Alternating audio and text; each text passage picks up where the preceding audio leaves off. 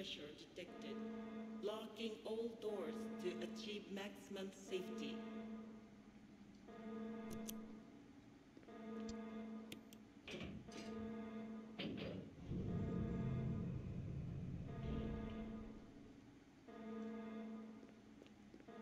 Reaching 30% of pressure threshold.